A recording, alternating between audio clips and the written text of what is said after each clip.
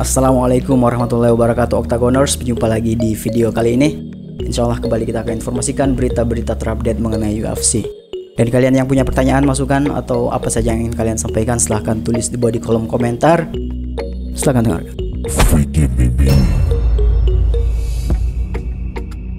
Netizen Twitter bereaksi setelah Islam Makachev menegaskan kembali niatnya untuk menjadi juara dua divisi.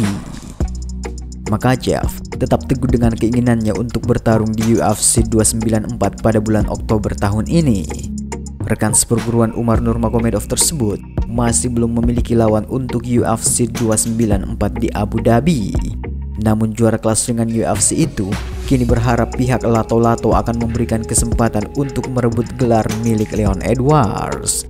Petarung berusia 31 tahun itu terakhir kali bertarung ketika ia mempertahankan sabuk kelas ringannya untuk pertama kali melawan juara kelas bulu Alexander Volkanovski di UFC 284.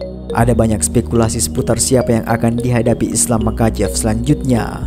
Salah satunya adalah pertarungan ulang melawan Charles Oliveira setelah petarung Brazil itu menang di UFC 289. Namun, The Bronx baru-baru ini mengindikasikan bahwa dia tidak akan bisa bertarung di UFC 294. Hal itu mendorong Makachev untuk mengarahkan pandangannya mencoba menantang juara kelas welter, Leon Edwards. UFC Abu Dhabi 21 Oktober, Makachev versus Leon Edwards. Bagaimana menurut Anda UFC, ESPN MMA? Tweet Makachev. Seruan Makachev untuk bertarung dengan Leon Edwards secara mengejutkan menghasilkan berbagai tanggapan. Beberapa penggemar setuju dengan ide tersebut, sementara yang lain menyarankan Makachev harus fokus pada penantang gelar di kelasnya yang masih belum pernah melawannya. Uang yang mudah saudara. Islam Makachev harus fokus membersihkan divisi kelas ringan. Islam Makachev belum mempertahankan gelarnya atau melawan petarung peringkat satu di kelas welter. Terlalu banyak penantang di kelas welter untuk melewati batas. Lawan penantang dulu. Jangan lakukan ini sekarang. Kami ingin melihatmu kalah melawan Volk atau Charles terlebih dahulu dan setelah itu kamu kalah melawan Leon. Saudara, pertama-tama lawan seorang di divisi Anda sendiri. Anda meminta untuk melawan juara divisi yang lebih tinggi tetapi tidak memiliki pertahanan gelar di divisi Anda sendiri. Belum pernah melihat juara seperti itu.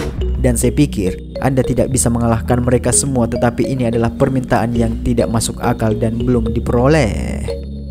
Juara dua divisi masa depan. Ini pertarungan yang harus dilakukan. Waktunya double champ masuk. Jangan berhenti mengangkat divisimu. Kamu bahkan tidak menang melawan kelas bulu dalam pertarungan terakhirmu dan kamu belum mempertahankan gelar melawan kelas ringan. Itu akan bagus saudara ingin bertarung di mana saja kecuali divisinya. Begitulah tanggapan dari beberapa netizen Twitter tentang cuitan Islam Makachev yang ingin melawan Leon Edwards.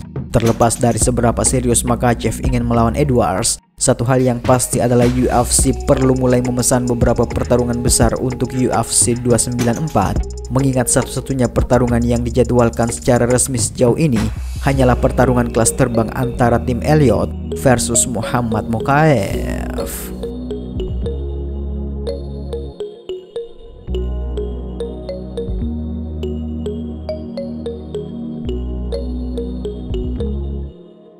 Sekian informasi untuk video kali ini. Nantikan video-video selanjutnya cuma di channel yang tak terkalahkan, tak terbantahkan, undisputed and undefeated, and attacks.